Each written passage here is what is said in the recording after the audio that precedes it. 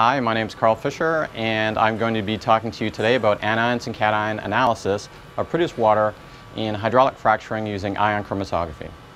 There are several challenges in looking at hydraulic fracturing and the, the products of it. There's the potential for contamination of water, soil, and air, and also there's compliance monitoring that one needs to be aware of, particularly if one is, is the driller. So there are factors that impact the local environment, but also there are considerations that the people who are actually drilling have to take into account. So one of them, as I've mentioned, is compliance with uh, shale water, shale gas regulations, the Clean Water Act, uh, optimization for the fracturing process itself. So these, these are factors that the drillers are going to have to consider. So these are a number of challenges and there are several solutions. And I'm going to be focusing today on water, water quality monitoring, looking at anions, cations, but there's also other things such as metals, organics, and radiation. So I wanted to go over with you the hydraulic fracturing workflow. So as you, as you can see, there are a number of places that one would typically want to monitor. You can see in the lower part uh, where it says monitoring well, but at the initial part, you're going to want to do a pre-injection site, site assessment. So that's going to take into consideration a lot of this monitoring that you've already done. So you're going to start with fresh water and then fracking chemicals. So the fracking chemicals consist of a number of additives. So typically they're going to be some things like um, things that lubricate the solutions or surfactants, uh, scale inhibitors. You're also going to be having uh, sand in there. So there's going to be a lot of things that are going to be part of this mixture. And so it's fairly complex. And so the mixture itself is going to have to be tweaked depending on the composition of the fresh water itself. So typically it's going to be really clean and pristine. So that is used for the first well, so you can see well one there. And then so a fracturing event occurs, you get gas or oil production, and then you have waste that's generated from that. So you're gonna have water coming up. So typically you're gonna have flowback or produced water, and then the question becomes, what do you do with that? So that's something that can be quite expensive to dispose of. One of the ways in which this is done is by deep well injection. The other one, and this is something that is being done more and more frequently, is the water is recycled. So it needs to be desalinated, and as you can see here, there's water going, and then you have a brine which, which is actually much easier to dispose of than all of this volume of water. So you get recycled water, and with that, you can use it for another fracturing event. So you would, at that point, you, it's really important, I think, even more so than initially, to know what the composition is of that water. Because the fracturing mix it can be very susceptible to the precise constituents of that water. So this is another point at which monitoring would be really critical. Here are uh, a number of places at which you could be doing monitoring. You can see that there's site monitoring. You can, you can look at sediments, brines, flowback, and also produce water, as I've, as I've already mentioned. The flowback is actually composed primarily of the fracturing fluid itself, so that's the first stuff that's going to be coming back out of the ground once the pressure is released. Produced water actually accumulates once the, uh, the well starts producing, so you're going to be getting gas and oil. So then it's referred to as produced water.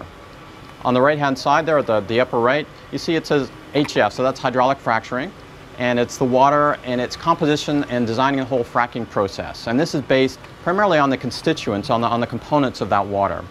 You can see on the left-hand side here, there are a number of anal analytes, uh, parameters that are measured. You have inorganic ones, such as metals, cations, isotope ratios, anions, and then organic ones, such as surfactants, natural gas, and then radiation and water chemistry. I'm not going to be talking about all of these things, but I'm going to be focusing on the things that IC does really well and I've, I've uh, indicated them there. So there's cations, anions, and organic acids. If you want to get a comprehensive picture of the whole uh, fracking, uh, all, all, of the byproducts of fracking, then you would need multiple instruments. But today, as I said, I'm just going to be focusing on IC. Here are some of the analytes that one would want to look at when you're, when you're analyzing your, your waste products. I start off with the inorganic anions, uh, starting with chloride. And as, as you can see here, it, it actually does have a, a, pronounced impact on the effectiveness of additives. So if you notice that this is quite high, you're going to want to reduce it, or you're going to have to adjust the additives that, you're, that you have in your fracturing fluid to compensate for that. It can also disrupt the nitrification process. And this is something that happens downstream if the water is being treated perhaps for discharge to surface water and perhaps even for drinking water. So this is a consideration that you want to keep in mind. Bromide is another one because uh, during the, the treatment water process, such a purification using ozonation, for instance, you get a lot of disinfection byproducts formed, and bromate is one of them. And this is a carcinogen, and that's something that you really don't want to be having in your water. So you want to make sure that you're able to monitor this and so you're not going to be discharging too much bromide, because that could be a concern downstream. There's also sulfate, and that can disrupt the anaerobic digestion process. Once again, this is for water treatment downstream. Organic acids, things like formic and, and, acetic acid, these can modulate the pH, and this is, this is a really important consideration for efficient fracking. So on to cations. So there's several cations, uh, potassium, sodium. These, once again, can impact the effectiveness of additives. Lithium, it's, it's toxic to humans. Ammonium, it's corrosive. And there are a number of things that can form scale, such as magnesium, calcium, barium, and strontium. And the reason this is important is because if you have scale forming, you're going to get occlusion of the, the pipe that's, that's transporting the liquids. And also these fractures that you've created, you're going to be occluding those. So you're, you're going to make those smaller. And the recovery of the oil and gas is going to be much, much less than you would like. So there are a number of, I mentioned challenges at the beginning, but those are more environmental or driller challenges. These are challenges for IC that I have uh, presented in front of you here. So high concentrations of dissolved salts, which are typical for wastewaters, you can see that a number of the factors that are consideration or you're exceeding the column capacity, and, and, this, will, this will give you poor chromatography as I've indicated here. You can see the red chromatogram on the right-hand side where it says undiluted. It goes up to about 1200, uh, 1200 microsiemens, and, and you can see the chromatography itself is not very good.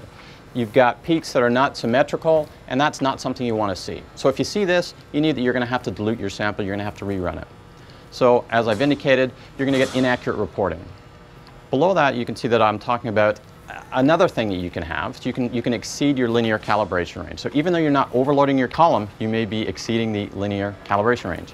And this is analyte specific. And once again, this can, this can lead to inaccurate results and inaccurate reporting. The other thing is that you can decrease your column lifetime. And this is something that you really don't want to do because you, would like your columns to last as long as they possibly can. So you don't want to overload it. So there are a number of, of strategies to uh, take care of this challenge. You can uh, do a number of manual analyses. So you can do something post-run. You can determine the, uh, con the concentration based on the, the chromatography itself. So you can look at your chromatogram, similar to what I showed you in the previous slide. And if you see that the area exceeds a limit that, you've established based on past experience, then you can rerun that sample. You can also do a pre-run. You can do something like a manual conductivity measurement. If it exceeds, once again, the limit, then you can dilute it and rerun it. These are both somewhat tedious, and the dilutions and the manipulations you do may be prone to errors. So there are, there are actually ways to automate this. There's auto dilution, and this is a feature of, of our Chromeleon chromatography data system software. It's a post-run analysis that looks at the, either the peak height or the peak area. And based on a cutout that you've specified in the software, it's going to determine whether or not the sample needs to be rerun or whether that sample is fine to go ahead with. The other, the other way of doing it is using inline conductivity. And what this does is it measures the conductivity in line prior to loading your sample onto the column. And once again, if, if, if it exceeds a particular cutoff that you've established, then it'll load less sample. So how does one load less sample? Well, you can either inject less sample by using a smaller sample loop, a partial loop injection, or doing an automated sample dilution. And in this way, you're going to lower the amount of sample that you're loading onto the column. And here I just wanted to show you a little bit of uh, little bit of statistics for the automated dilution itself. On the top, you see conductivity. And this just shows you the precision. You can see the percentage RSD, which is really tight. And this is from five different injections. Down below you see the RSDs for different draw dispense. So you've got set volumes, liquid dispense, liquid dispense, so I measured that. And based on those numbers, I was able to get the RSD values and also determine the accuracy. So you can see it's pretty close to 99%. So this is a really effective strategy for automatically diluting your samples. All right, on to the data. So here I have the anions, and as it says at the top, determination of anions in produced water. One of the things I want to point out is that this uses a 2 millimeter inside diameter, and the flow rate is 0.25 mils per minute. So as you can see in, the, in this slide here, so we're looking at anions in produced water. So A is actually our standard, as you can see on the right-hand side there. Uh, we have B, C, and D, and I guess at this point I, I, should say that the produced waters were obtained from Texas, California, and North Dakota. And I had to do various dilutions based on the, the, the concentration of anions present. You can see that chloride is a dominant anion here, and you can see that it's quite high. It's, it's head and shoulders above all of the other anions that are present. But you've also got a little bit of sulfate, a little bit of bromide. You can actually see it a little bit more easily by looking at it as a bar graph. You can see that, as I said, chloride is quite high. We have North Dakota, which is really high, about 180,000. If you go over to the other, the other part of the, this, this figure, you can see the bromide is, is comparable, uh, at least for the Marcellus. So I should point out that the, the Marcellus FB here is actually flowback. So I've included, just for comparison purposes, not only produced water, but flowback. And this flowback is uh, the fraction 10, which is the highest concentration. So from the flowback that I had, I started with the first barrel, and so that's my first aliquot, and the tenth is actually the 100,000th barrel collected. So it's the most concentrated as far as ions is concerned. So I thought that would be a good comparison to, to put here. And as you can see, you can see that Marcellus, as far as bromide and as far as chloride, it's kind of comparable, but the other ones, the Texas and California, are considerably lower than North Dakota. And for the formate, for the acetate, the organic acids, they're relatively low. So there's quite a bit of variability. And most of this variability appears to be due to the location from which these samples were obtained. So what about cations?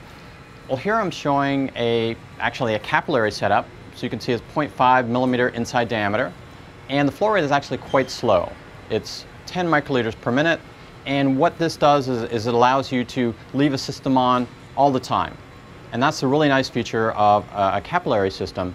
You can actually leave it, go away, run your samples, come back the next day, and you don't have to worry about this prolonged startup period. So that's a really nice feature of capillary. So you, as you can see, there, there's once again, there's one cation that dominates. So there's one ion that, that's, that's the dominant ion, but it looks like there's something else that's a little bit less, but still significant. And once again, I have Texas, California, and North Dakota, all of which I had to do dilutions on. So here we can see what they are we can see that that major peak, that peak number two, is actually sodium. So there's quite a bit of sodium. And then the, uh, the sixth peak is calcium. And then there's, there's some other things there, as you can see. See, once again, North Dakota, it looks like it has the most of any of the samples there. So here we go when we're looking at it as a bar graph and comparing them once again to the Marcellus shale flowback. You can see that calcium for North Dakota and the Marcellus, they're kind of comparable. Sodium, it's once again the highest in North Dakota. And then you've got potassium, ammonium that's really high in North Dakota compared to the others. And then magnesium, strontium, very little, actually there's no barium. And then there's lithium. So some of the information that, that you can get from looking at this is information that will help you guide the treatment and the reuse strategy. The other thing I wanted to point out here was that depending on where these samples are taken, you can, you can see that there's quite a, quite a lot of variability. And the take-home message that one would want from that is that even though you, you've collected data at one site, you can't really directly apply it to another. So it has to be really, really site-specific. And even within the same shale play, this can be something where there's also additional variability. So you actually want to do this at each specific well in order to get the most information out of each site and each event and each analysis. So to conclude, just to wrap up, I've shown you that wastewater, it contains a lot of salt. You can actually overcome this challenge of high salt by automating it. You can do it manually, but you can also automate it. You can have pre-screening and dilution, and in this way you can get accurate, consistent results for anions, organic acids, and cations. And then this can help you formulate a wastewater strategy and reuse policy. I just want to point out that there are a number of technical notes available if you want to get more details. Uh, technical note 138 talks a lot about this automated dilution using the ASAP auto sampler. Uh, 139, technical 139, it looks at fracking flowback. And then the produced water look is, is application note 1105, and it is the most recent one there that we have produced. And uh, as far as cations, I didn't quite get that one, but it's the fracturing flowback is looked at in application note 1094 And also, if you want to get additional information about all of our IC innovations, you can go to thermoscientific.com slash IC for more details. Before I finish, this is my very last slide. I just want to point out the instruments that I used. I used an ICS 2100. It's an RFIC, so it's reagent-free IC system. And that was for the 2 millimeter. For the capillary side, you can either use the ICS 4000 or you can use the ICS 5000 Plus, which is what I used. And you can see on top of that, you can see something that has a little bit of an opening. That's the ASAP auto sampler. And that can be fitted with the pH conductivity module, which fits right up underneath that little hood that's there. So that's a, that's a nice accessory that you can use for any of these systems that, that, that I've indicated here. But the ICS 5000 Plus, it has multiple capabilities. You can have a couple of different pumps, and you can either have analytical or capillary systems set up. And with that, I would like to conclude, and thank you for your attention.